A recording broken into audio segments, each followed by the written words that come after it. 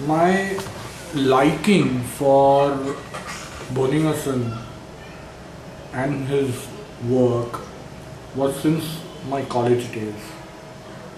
I found that first literature which I was introduced to was the Boger Bonninghausen's repertory. I found this repertory to be very simple as compared to any other repertory and especially Kent to find any symptom.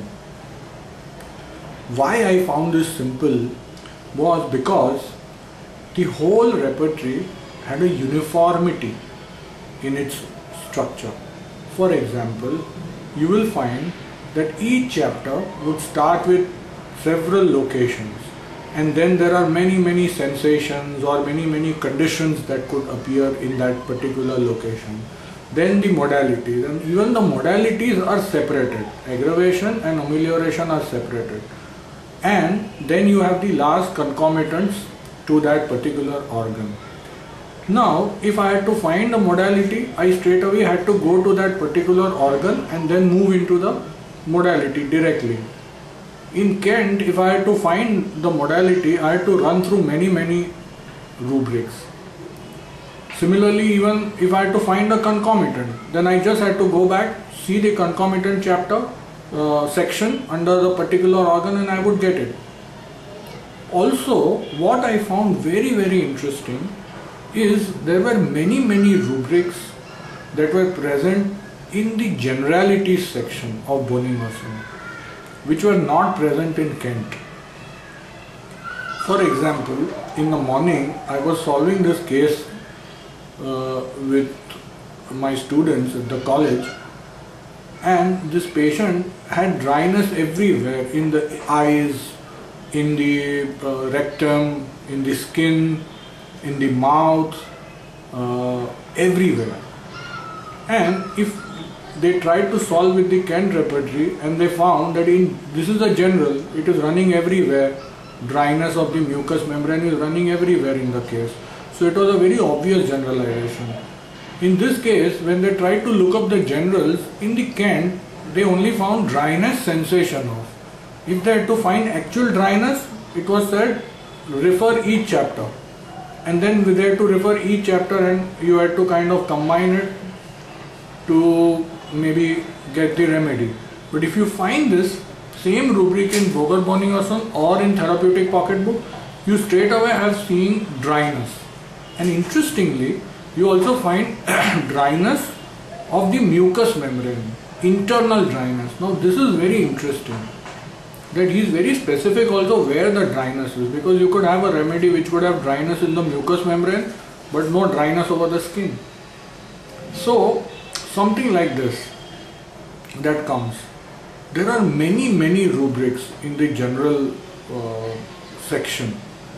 This also means that there is a lot of study that is done before this generality section was formed of the remedy.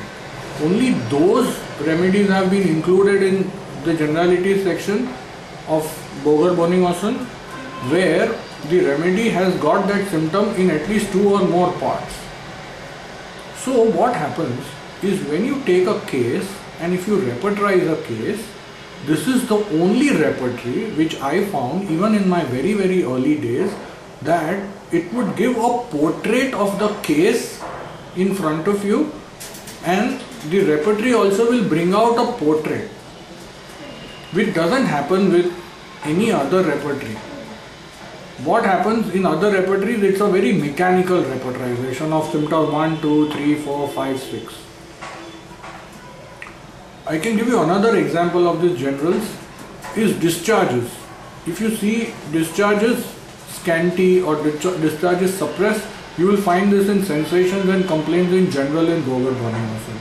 But in Kent, it is written, go and see every single chapter. So here also the generalization is very very nice, nicely done and it helps us to bring out a portrait, to match a portrait because we do not match symptom to symptom. We match a portrait of the case and portrait of the remedy. This is what I realized in my very early days and therefore I love this repertory of Boger Bonninghausen and also the therapeutic pocketbook. This becomes important especially when we are not very good at our materia medica, which I believe a lot of us have a lot of difficulty in the materia medica or we know our materia medica only either as isolated symptoms or we know a lot about the mind. We hardly know anything about the physical level or even the general level other than mere symptoms, memorization of symptoms. So keeping this in mind, I went on further to study the literature of Boger, Boger. The next book that I picked up was the Therapeutic Pocket Book. And when I opened the first page of the Therapeutic Pocket Book, it's a small little book, almost insignificant in its size. When I opened the first page, I found that it's written not only it is helpful in prescribing, bedside prescribing, but it is helpful in the study of the materia medica. And this took, I got fascinated by this statement. No other repertory ever tells that it is helpful in the study of materia medica. And I pondered over it for a long time as to why he has said that. And I read the introduction. And when I read the introduction, I came, I understood this concept of complete symptom, which he said, Bonninghausen said. And he said the complete symptom is consisting of a location, a sensation, a modality, at least three. And if you have fourth or concomitant, it's even better. So I said, what about this complete symptom? A, a deeper look at this concept of complete symptom, I found that in every remedy if you just try and put every single proving in this section of location, sensation, modality and concomitant, just like what we do in the case. So I did this for the, for the first remedy APIS. This was my first remedy which I studied with this method. And what I found is when I did various location and I put them down in this LSMC format, that means trying to complete them, I found something very amazing.